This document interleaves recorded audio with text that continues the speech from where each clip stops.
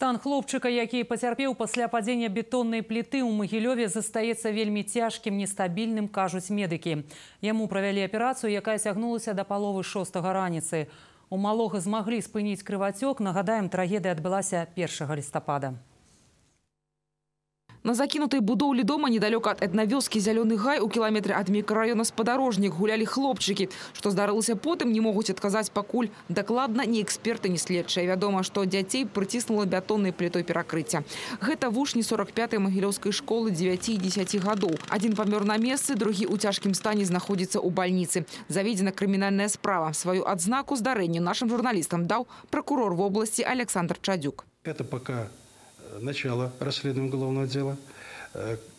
Как будет квалифицироваться, будут квалифицироваться действия тех либо других физических, может быть, юридических лиц.